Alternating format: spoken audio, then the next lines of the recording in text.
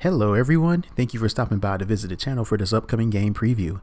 If you want to stay updated in the world of college football, if you haven't done so already, please click that subscribe button, click the notification bell, and select all so you will not miss out on another video. Also, like the video, share the video, it helps the channel grow, and give me your score prediction in the comment section below, even if you agree or disagree with my score prediction.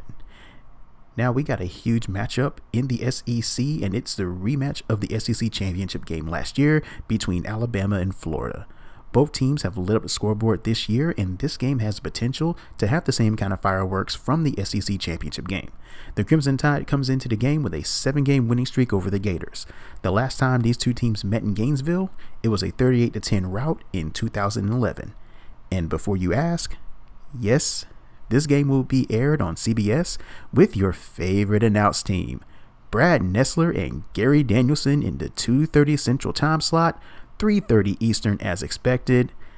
I know you Bama fans really love to hear Gary Danielson talk about how much it's going to take for Florida to beat Alabama, but let's, let's despite all of that, let's get started how we always do, the tale of the tape. So as we review the tale of the tape, we have noticed that Alabama's SP Plus ranking has dropped a little bit after their sleepwalk against Mercer. The Crimson Tide had a rating of 32.9 and is sitting at a 29.8 rating. The Gators climbed up five spots from 14th to 9th from the previous week as their defensive rating played a big part in it, as they went from 32nd to 23rd in defensive SP+. Now, Bill Connelly's SP Plus ranking gives Alabama a 68% win probability, and Vegas opened the line as Alabama as a 15 point favorite. The Gators faced two overmatched teams in state as they dominated both Florida Atlantic and South Florida by a combined score of 77 to 34. Against South Florida, the Gators did what they wanted without any resistance from the Bulls, as the offense produced over a 50% success rate in the first three quarters and proceeded to shut it down in the fourth quarter. But if I'm going to talk about the Florida offense, I must talk about the quarterback controversy between Emory Jones and Anthony Richardson, who the Florida fans have dubbed AR 15. When you take a look at the stat line between the two quarterbacks, it looks like the easier choice is to choose Richardson over Jones. Now, I understand the why of wanting to go with Richardson. He's been explosive when he's in the game, and against South Florida, he was 3 for 3 with 152 yards passing, 4 carries for 115 yards, and accounted for 3 touchdowns. His success rate in the game was 100%, and he had 50 yards per pass attempt. Now, it's an obvious small sample size. Completely understand. But it feels the offense has more juice when he's on the field, and everyone loves a shiny new car that just so happens to be the backup quarterback. His measurables scream Dak Prescott because of his size and weight, but that's about it. I don't see him having Dak's ability yet to process reads and hit the intermediate throws as he did at Mississippi State. Now, the Florida fans have a love hate relationship with defensive coordinator Todd Grantham. One minute, he's one of the best defensive coordinators in the country, and the next, they are ready to get rid of him.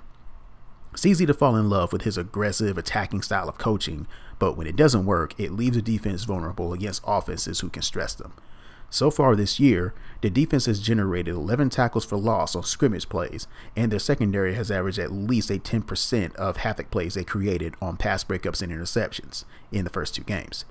Now, if there is one gripe, it's that the first half defense of Florida plays like their sliders are turned all the way up, but the second half falls off but that is primarily due to substitutions since the game is currently in garbage time at that moment. There's not much we can glean from beating an FCS opponent last week, but Nick Saban wasn't happy with Alabama's effort and execution.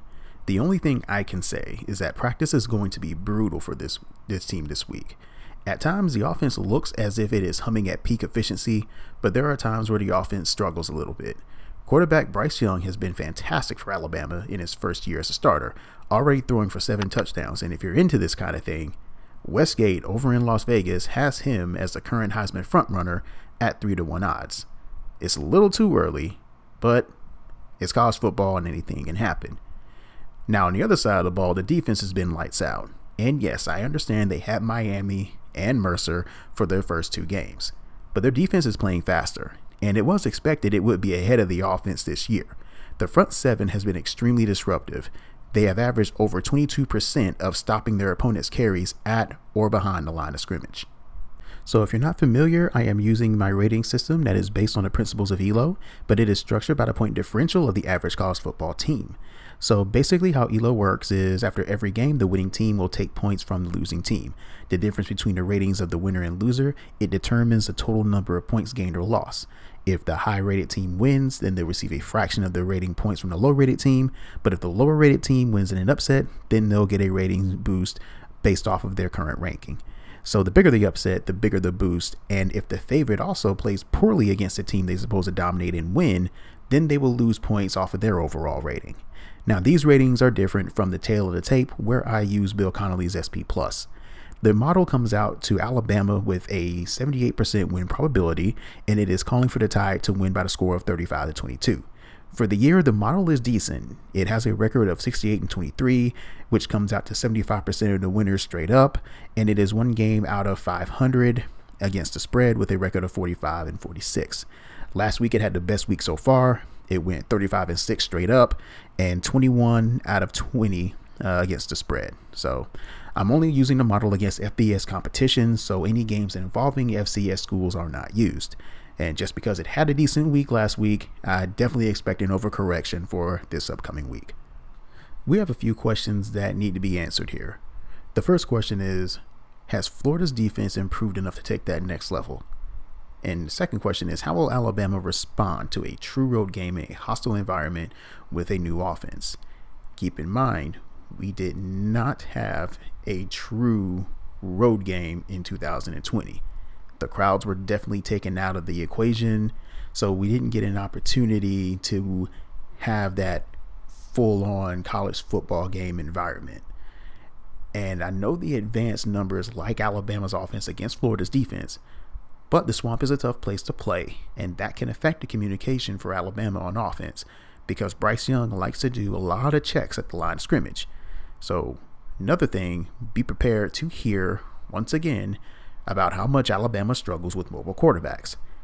I've already talked about it enough about how it just doesn't help teams against Alabama, but accurate quarterbacks hurt Alabama more than mobile quarterbacks do. So, not going to explain it anymore, so I'm just going to leave that alone. I don't know what Dan Mullen is going to do with Richardson and Jones. My gut tells me it's going to be more of a Chris Leak, Tim Tebow situation. But Jones hasn't fared well this year. He's had more turnovers. He's a little sloppy in both games. And Alabama is a type of team that will make you pay when it comes to making mistakes on offense. Another thing to note, keep an eye on the middle eight, which is the last four minutes of the second quarter and the first four minutes of the third quarter. Dan Mullen really loves to win the middle eight it was exactly how they got back into the SEC championship game. If Florida wins the toss, they're definitely going to defer so they can have the ball within the last four minutes of the first half and throw the kitchen sink at Alabama, then get it back again to start the half. I see Mullen potentially calling a game like his final game against Alabama in 2017 when he was at Mississippi State, where they played keep away, they stayed ahead of the chains and they tried to force Alabama into quick offensive possessions by blitzing them all over the place and just forcing Jalen Hurts to make quick decisions. The big difference between Alabama in 2017 and this year is one, Alabama has a lot of guys up front and they have a lot of experience on the end. And that 2017 squad on defense was limping into the last part of the season. I mean, they could hardly feel the defense. In the end, I believe Florida is going to make a game of it early. The crowd's going to be in the game. But I see Alabama pulling away to the score of 38 24. And with that being said, that's a wrap for another game preview. Let me know what your thoughts are on the game in the comment section below. Give me your score prediction and tell me why your respective team is going to win it. Hope you enjoyed the video. Please give the video a like. It doesn't cost anything. And if you love college football as much as I do, hit that subscribe button if you want to stay updated with the latest previews and the occasional highlights. And as always, thank you for watching and thank you for visiting the channel.